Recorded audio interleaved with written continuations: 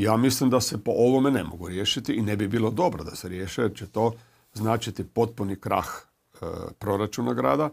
Vi danas već, rekao sam, u gradu se ništa ne radi. Dakle, ja ne znam, u zadnjih šest mjeseci osim kockanja ove ulice je li bilo što napravljeno. A ako još 30 milijuna eura budemo morali dati za posao koji vrijedi 13 po mojem ugovoru, onda se tek neće ništa raditi.